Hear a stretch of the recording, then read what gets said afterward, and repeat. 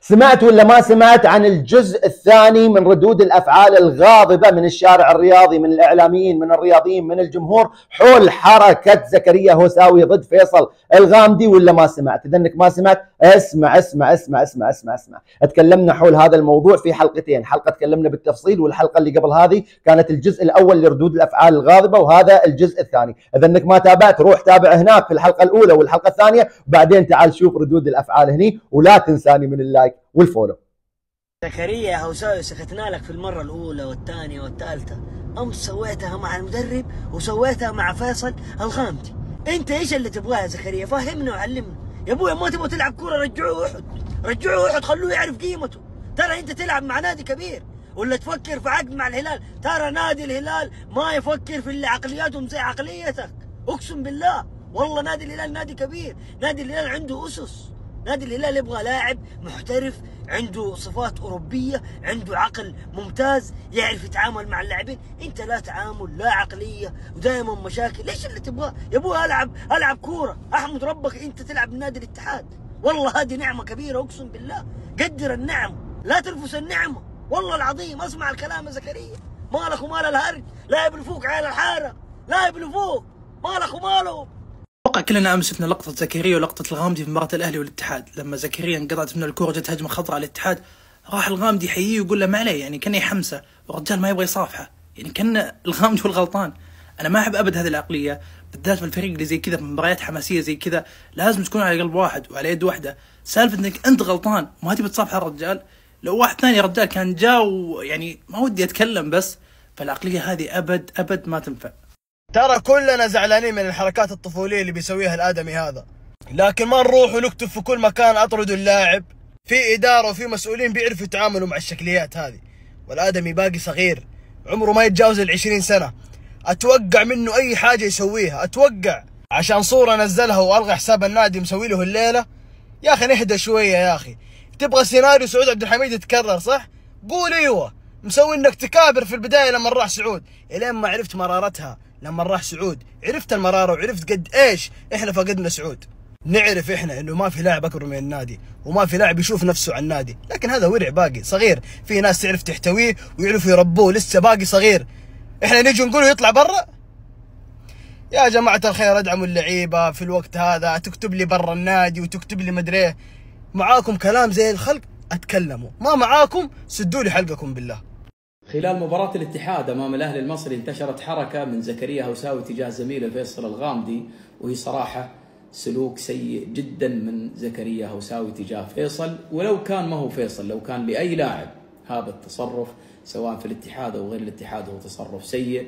وأعتقد أنه يستوجب من زكريا هوساوي الاعتذار من زميله، الاعتذار من الاداره، من زملائه اللاعبين، أيضا لجمهور الاتحاد اللي ما كان ينتظر مثل هذا التصرف باتجاه فيصل الغامدي وبالتحديد فيصل اللي يقدم مستويات كبيرة ويعتبر لاعب جديد على المجموعة. بالمناسبة لو ننظر للموضوع بعيد عن تصرف زكريا هوساوي ترى زكريا لاعب يملك إمكانيات كبيرة جدا وصغير سن ودافعنا عنه بعد مباراة الشباب اللي انطرد فيها أواخر الموسم الماضي.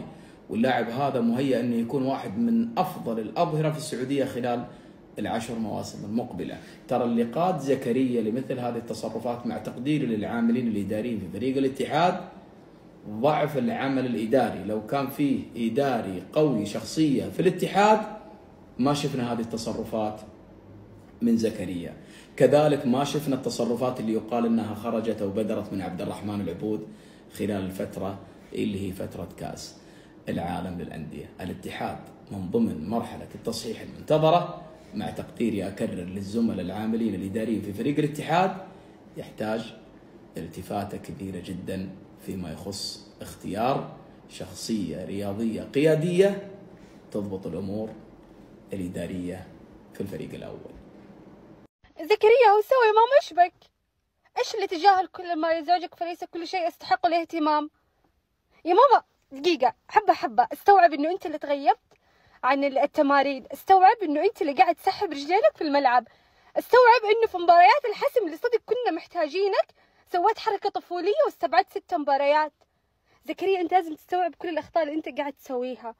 لا تحاسب على ردات الفعل والفعل بدل من عندك.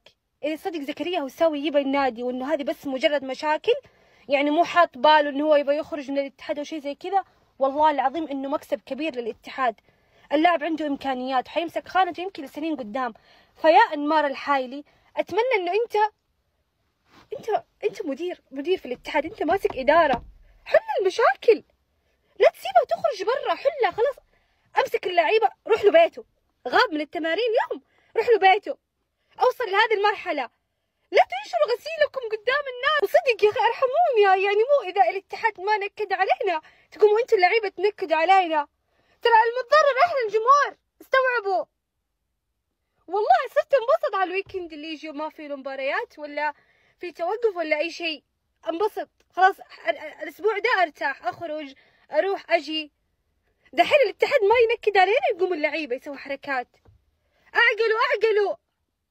بعيدا عن إدارتنا اللي كل مشاكلها على ال social media. حرفيا كل مشاكل النادي على ال social media. بتلاقيهم يدقوا بالهرج في السنابات ولا في الانستغرام ولا في التويتر. ورب البيت إحنا الحريم بطلنا الدق في الهرج. عندي شيء أروح أقوله في الوجه خلاص أحله بيني وبين الشخص. ليش لازم ليش لازم أدق في الهرج؟ ليش لازم أنشر كل شيء؟ حلوا الأشياء في النادي. زكريا برضو أنت إذا تبي تسوي نفس حركات عبد الاله المالكي وسعد عبد الحميد خلاص. روح بهدوء. يعني لا تعبني صرت أفكر في أشياء أرسم سيناريوهات و... واحلل في السنابات واحلل في التغريدات. الموضوع يتعب. خلاص. أستاذ انمار الحايلي أمسك زكريا هوساوي وأدخلوا المكتب وحلوا المشاكل. حلوا مشكلتكم واتفقوا ووصلوا إلى الحل. اللاعب يبى النادي يبى ما يبى الله يستر عليه. يعني مو لازم إحنا نجي نعلمكم كيف تحلوا المشاكل.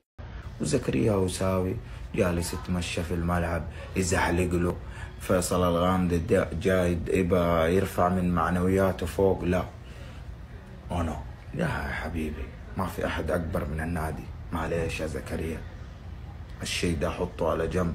كوارا جنان تكرنا حطه على جنب. فوق مخك. أقسم بالله ما بزعل لحالي. أقسم بالله. شوف زكريا كرة انقطعت منه. والرجال في الخلف ما قصر. لكن الشيء الغريب شوف شوف المالكي جاي يسلم على زكريا يقول له قد الروح الجرينتي يبغى يبغى يتحمس يلعب ما يفقد الشغف. لكن ما رد عليه ما سلم. صفوا اتجاهلوا يا اخوان أنت يا زكريا إيش بك زكريا؟ أنت ترى جاي من أحد ما أنت جاي من اليوفي ما أنت جاي من اسبانيا يا شيخ استحى الله يقرفك يا شيخ. هي كلها اللي عندك ثلاثة مراوح وما تراوغ أحد. أخيرا المباراة دي في المية انه زكريا هوساوي عقله صغير. لاعب كورة بس مو لاعب محترف. ترى في فرق بين لاعب كورة ولاعب محترف. لاعب الكورة ده يعرف يسوي مهارات ويعرف يسوي ويفعل تلاعبه في حارة لاعب هاوي بالأصح. أما إنه لاعب محترف هذه صعبة. الاحتراف ترى صعب. الاحتراف يعني أنت تحترم مدربك تحترم التشكيلة تحترم كل شيء تسمع قرارات تسمع تعليمات المدرب. يعني حياتك تكون احترافية حياتك كاملة كاملة. تتقبل الكلام تتقبل النقد. تشوف إن تغلط تسمع أحد يقول لك أنت غلطان تسمع. مو إنك يا أبوي لما احد يقول لك أنت غلطان. تهمشه مدرب يكلمك تهمش لا حبيبي أنت إيش؟ أنت إيه إيه. ألو ألو ألو زكريا! كده غلط. كده غلط. من السنة اللي فاتت إحنا نقول لك غلط. والسنة دي يتغير المدرب ويجينا وبرضه أنت في نفس الغلط. ليش طيب؟ ليش تسوي في نفسك زي كده؟ العقلية اللي انت فيها دي ما حتنجح.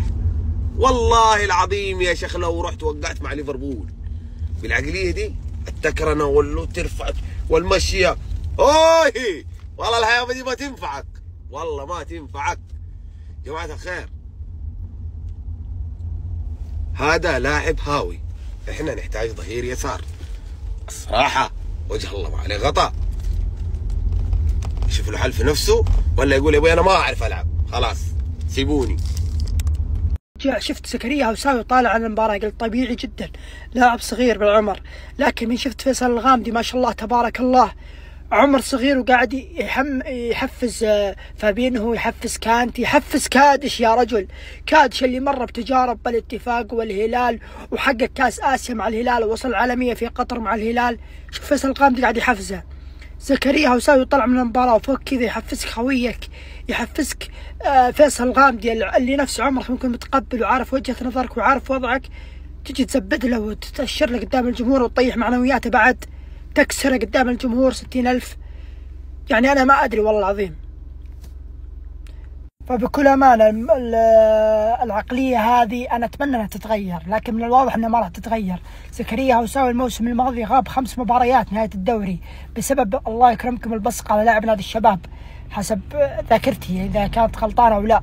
لكن هذا يعتبر درس المفروض تتعلم خمس مباريات ترى واجد يعني شهر وشوي ويوم حسم.